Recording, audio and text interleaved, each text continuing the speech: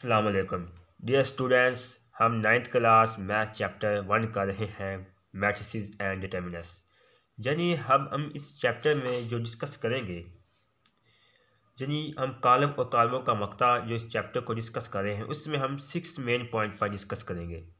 Introduction to matrices कॉलमों का तारफ़ टाइप्स ऑफ़ मैट्रिसेस कॉलमों की अकसाम addition and subtraction of matrices कॉलमों की जमा और तफरीक मल्टीप्लिकेशन ऑफ़ मैट्रिसेस कार्बों की ज़रब additive and multiplication inverse of matrices कार्बों की जमई और जैबी मकूस solution of simultaneously linear equation हमजार मसवालों का हल। हम जिन सिक्स मेन टॉपिक्स इस चैप्टर में सीखेंगे डिस्कस करेंगे, जो हम आपको, इसमें आपको बताया जाएगा। अब हम जिस टॉपिक पर डिस्कस करने वाले हैं, वो है मैट्रिक्स यानी कॉलम क्या होते हैं? कॉलम की सबसे पहले हम कहते हैं डेफिनेशन हकीकी अदाद की मदद से एक मुस्तली बनावट में नंबरों को, नंबरों की मदद से ब्रैकेट में बंद कर देने से इसको कॉलम कहते हैं। ये भी एक कॉलम है, ये भी एक कॉलम है। यानी हकीकी अदाद के नंबर हो गए, या फिर हम मुख्त A B C D number, जिसको हम एक तरतीब से बनावटी अंदाज में ब्रैकेट शेप बंद कर देने से हम इसको कॉलम कहते हैं।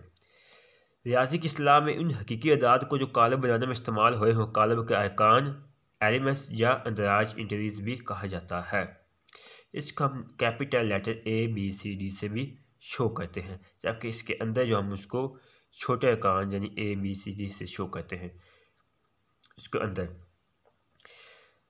जो वैसे तो जिसे हम कहते हैं, एक short question discovery of matrix किस यानी डिस्कवरी ऑफ़ मैट्रिक्स किसने दरियाफ्त किया, किसने कॉलम की तस्वर पेश किया आर्थर कैले एक इंग्लिश साइंटिस्ट था, अठारह सौ सतवंजा फिफ्टी सेवन में इसका उसने तस्वर पेश किया मैट्रिक्स का। जी, ये तो हमने आज इसकी डेफिनेशन की कि मैट्रिक्स क्या होता है, यानी कॉलम की डेफिनेशन अलैक्म स्टूडेंट्स हम ninth class exercise one point one का पहला क्वेश्चन सॉल्व करने वाले हैं, जिसका हमने ऑर्डर मालूम करना है, यानी मतबा मालूम करना है। किसी भी कालम का मतबा मालूम करने के लिए उसकी कतारें और कालमों की तदाद के मुतन से उन उसका मतबा मालूम कर सकते हैं, ऑर्डर मालूम कर सकते हैं। हमारे पास जो पहला क्वेश्चन है, सबसे पहले हमें समझना होगा कि रोज़ और कॉलम्स यानी कतारें और कॉलम्स क्या होती हैं।